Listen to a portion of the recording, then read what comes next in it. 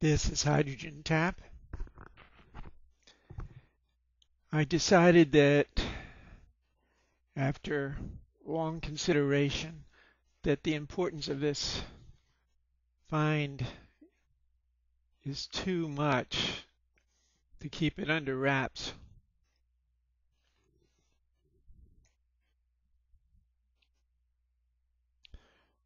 What you see here is the project that I've been working on.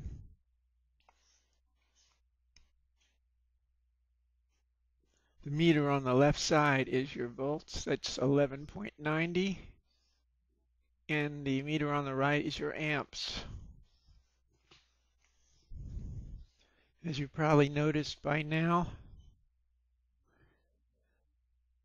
there is considerable amount of hydrogen being produced with only 2.43 amps. This video will go on for about nine minutes.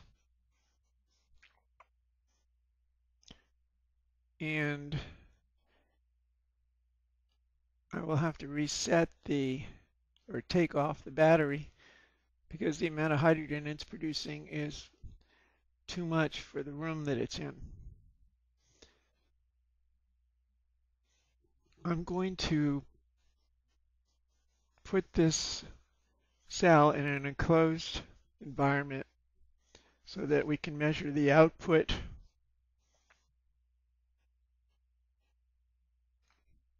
but for now I've noticed such an increase in productivity of this cell that I thought it would be of interest. It's been a long day here. And a lot of study work on this project. As you can see, I have the battery we're using in the background. At the end of the video, I will be putting on a charging system, which will bring the voltage up to around 13 volts. I've taken sample readings of the heat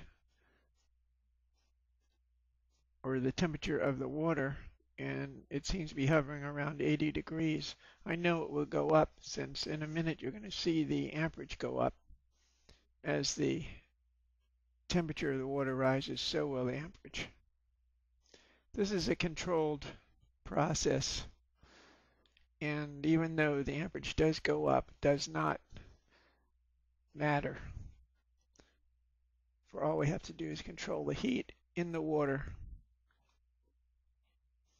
You should also note that this is distilled water and I'm using lye for the electrolyte.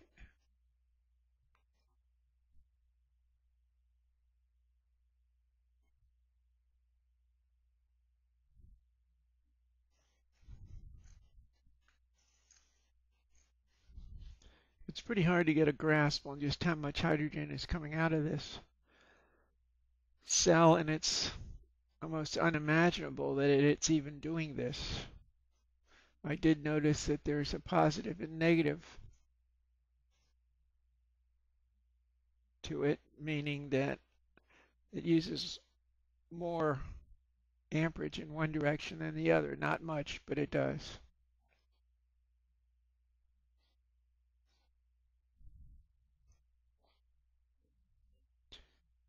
The cell is working because what I've done is figure the maximum point on the plates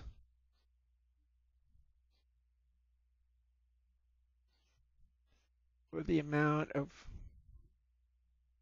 surface area. In other words,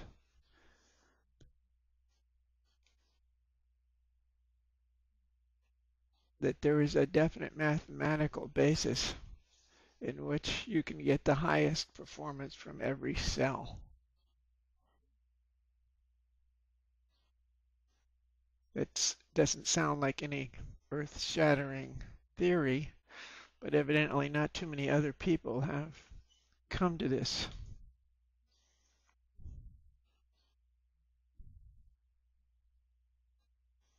It's my belief that the Meyer cell and the other cells that you've been looking or that I've been looking at using tubes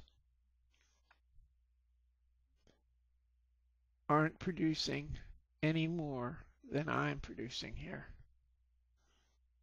As you can see, we're at about 75 degrees.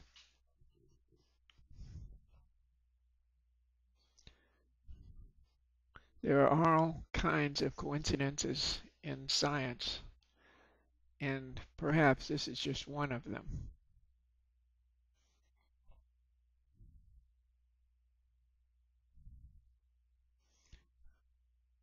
I don't think you need to measure the output of this cell to realize just how much hydrogen it's putting out.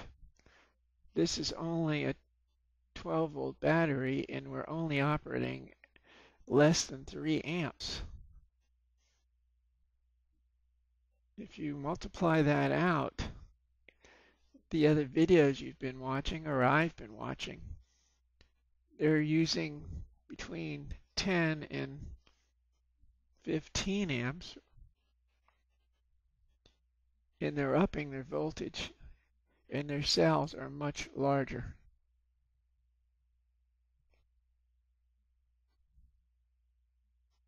Remember, this is only using, not even using 3 amps to get this.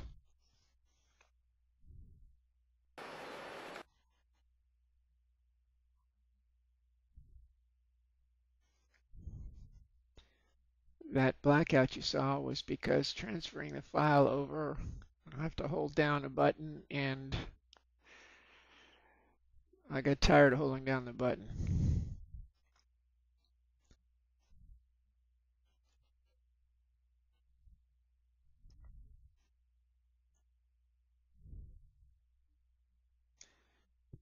I have decided I'm going to be showing more of this.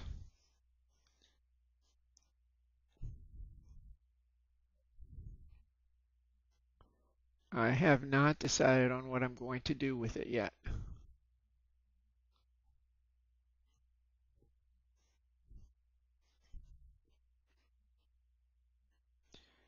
The good news is that it exists.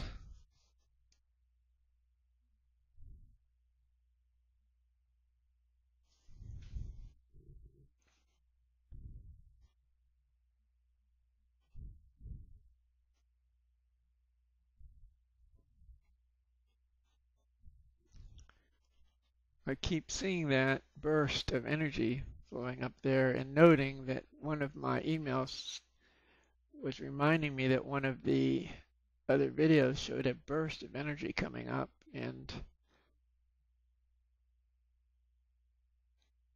when I went to that video the amperage was much higher than this. What I'm going to do is try to get this working at even lower amperage. And the way you do that is you have to figure out the exact mathematical equation for it. I'm no math wizard. So it's going to take me a little longer than most.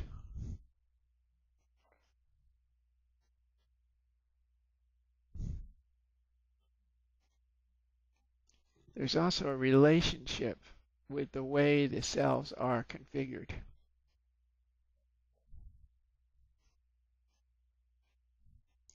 I think that the most interesting part of this is that it does exist. It doesn't matter how it works. It matters that it does.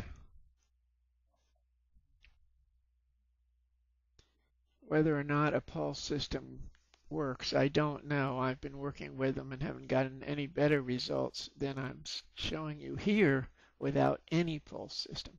There is no pulse system here. This is a straight 12 volt battery. Now I'm putting a charger on it. Show you what happens when you bring the charge up.